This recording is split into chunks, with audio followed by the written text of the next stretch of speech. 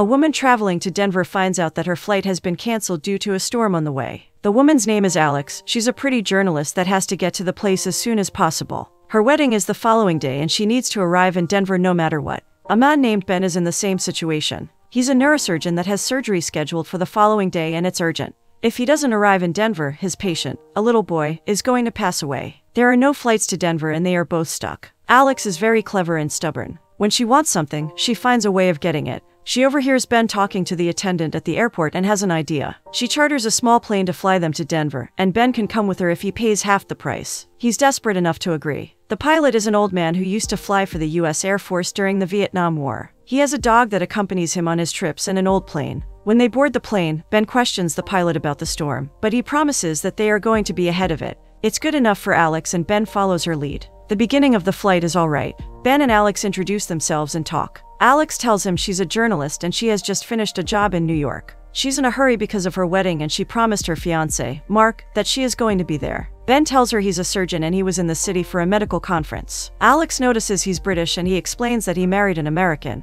but he's originally from London. As they pass through the stunning snowy mountains, there's turbulence that makes Ben nervous. The sky is gray and the storm is right there to greet them. As they advance, the storm gets worse and the plane shakes. To make things worse, the pilot can't talk to the air traffic control. He starts stuttering and Ben quickly notices something is wrong. When he approaches the pilot, he realizes he's having a stroke. Ben tries everything in his power to help the man while Alex tries using the codes she heard to talk to the air traffic control. With the storm and without a pilot, they lose control of the plane and hit a mountain. Part of the plane falls off and Alex quickly tells Ben to put on his seatbelt and brace for the fall. It happens in a matter of minutes. Hours later, Ben wakes in the destroyed plane feeling a lot of pain. He has some wounds from the crash but nothing mortal. Alex isn't as lucky. She's out cold, her face is bruised and bleeding and her leg hurt. Ben moves around and finds out the pilot passed away, but the dog is alive. It's dark and it's freezing. He can hear the wind howling outside the plane. Being a rational man, his first plan of action is to take care of Alex. He wipes her wounds and improvises a brace for her leg. He lights a fire using the plane's fuel and a lighter he found on the pilot. He checks his phone and there's no service. He tries not to fall into desperation and hopes that rescue is coming for them.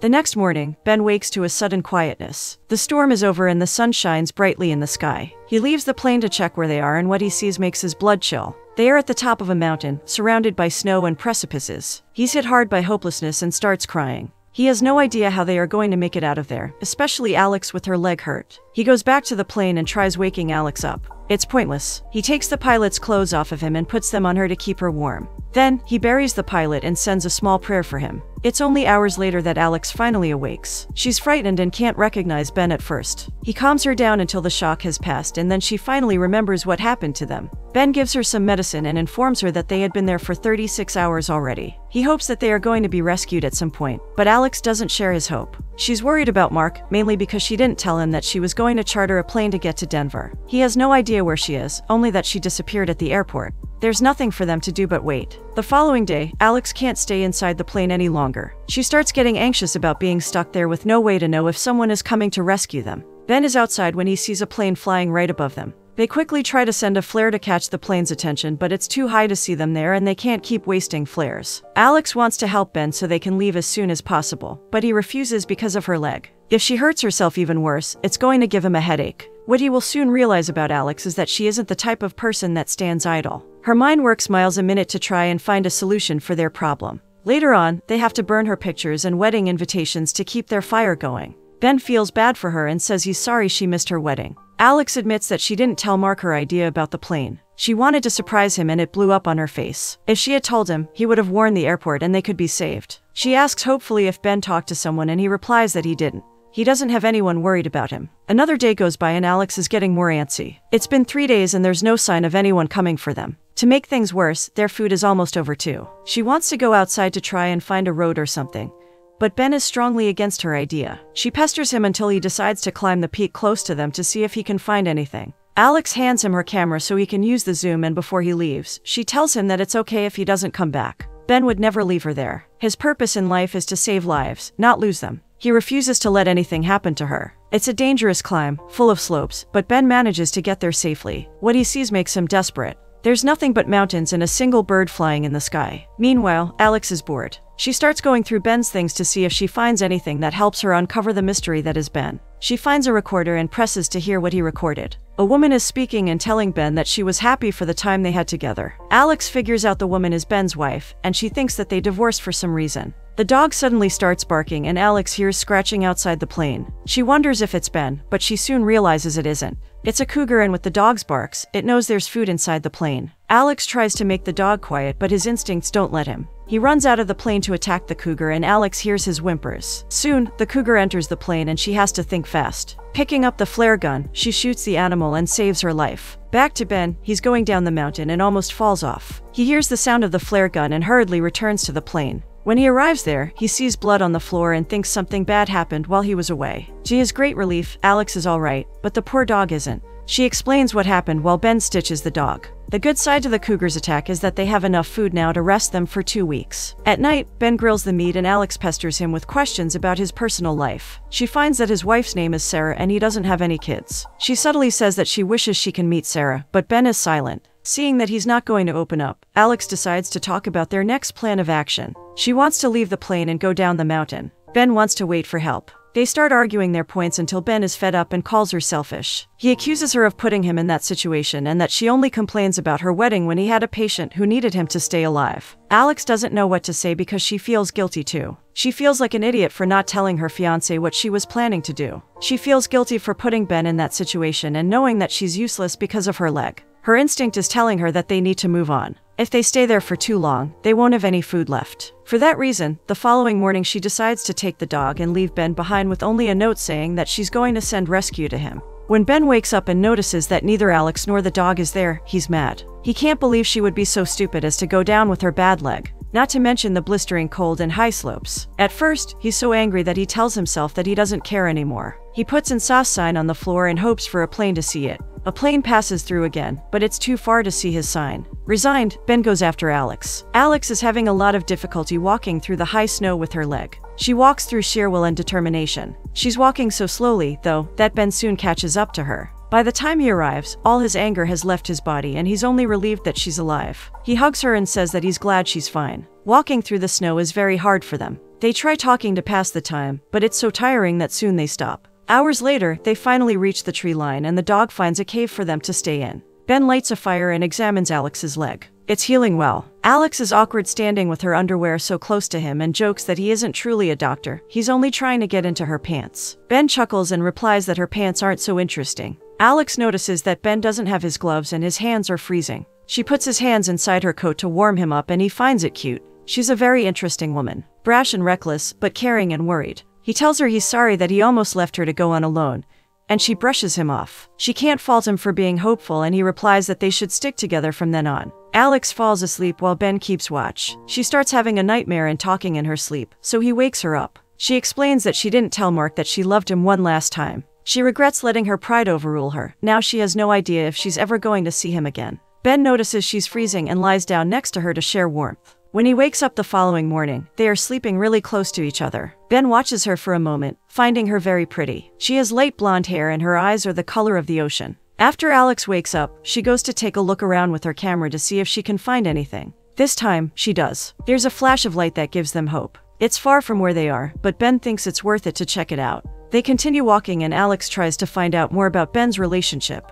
She doesn't know why she's so invested. Maybe it's her journalistic personality that wants to uncover mysteries. She asks him how long he has been married and he immediately gets defensive. She explains that he's always wearing a wedding ring but he never talks about his wife. She isn't even married and she always mentions Mark. It's strange for her. Ben pretends he didn't hear her and stays quiet. They walk for hours and it's getting harder and harder to go on. They reach a dead end and Alex starts venting her frustrations. She's very tired, hungry, and cold. She's so desperate that she thinks about jumping the cliff to fall into the cold lake. But Ben tells her she's being reckless. They argue again because Alex is tired of pretending she's fine. She isn't. She's scared that they are not going to find anything and pass away there. She's annoyed by Ben's poker face and how he can't admit to his feelings. She tearfully asks if he thinks they are going to make it and he denies it. He thinks they are going to pass away there, but they still have a choice. They can decide if they want to continue being careful and probably have a good chance of making it, or be led by their emotions being reckless. He already knows which he's going to choose. He turns his back on her and continues walking.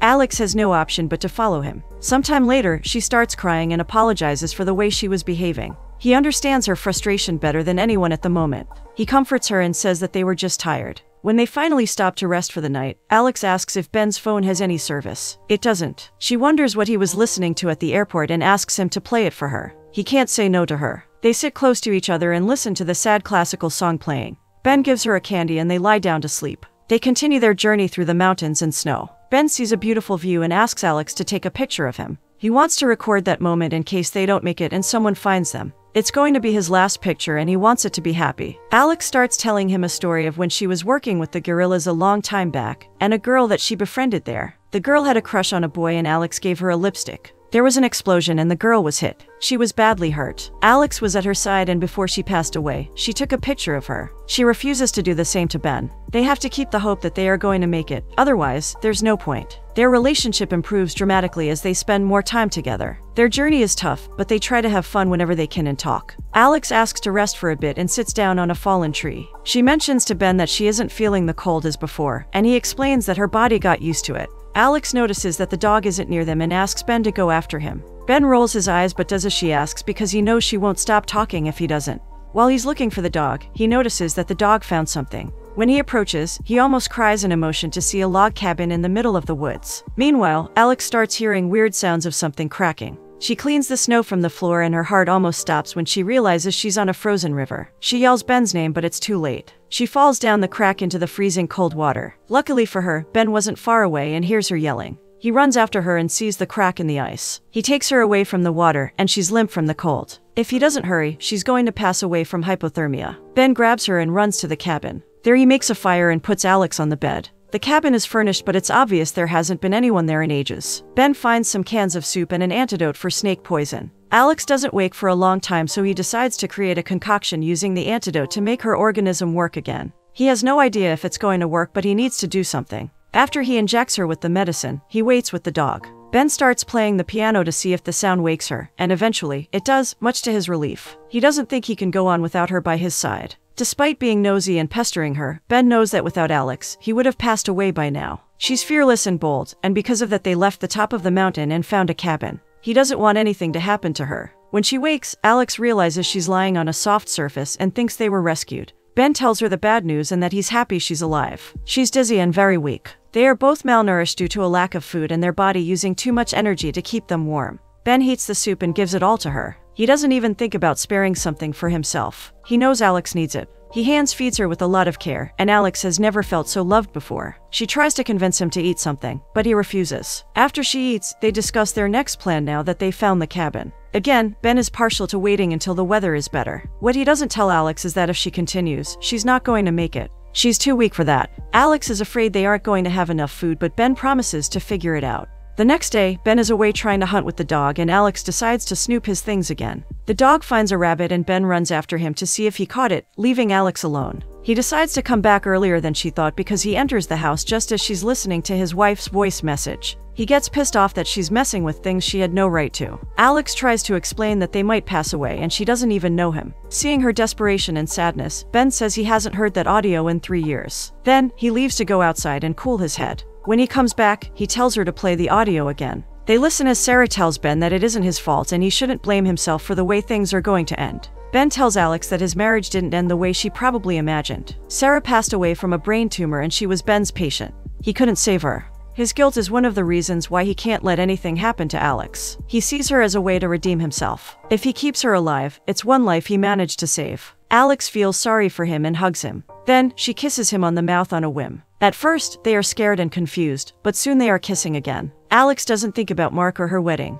The only reality she has at the moment is Ben and his body in front of her. They have no idea what is going to happen the next day if they are ever going to leave those woods and mountains behind. She wants to feel more than fear or pain. She wants to get lost in Ben. They get intimate and it's the best they felt in weeks. They remember the moments in their journey for survival, and it only makes everything more special. It's visceral and wild. There's no before and after that, only the present. The next day, Alex takes a picture of Ben sleeping. When he wakes up, she tells him that she thinks they must be close to some civilization. She wants Ben to go without her and she's going to stay in the cabin waiting for him. Ben is reluctant, knowing that Alex is in a fragile state. If she doesn't eat or if it's too cold, something could go wrong and she would be alone. Still, she insists and there's no way for him to say no. The following day, he leaves her behind with everything they possess. He walks a couple of meters before remembering their talks and moments together. He can't stop thinking that something is going to happen to her. Turning around, he goes back to the cabin to take her with him. He promises he's going to get her home, no matter what. He couldn't save Sarah or his patient, but he was going to save her. Their journey is even harder because they are weak and malnourished. Alex can barely stand.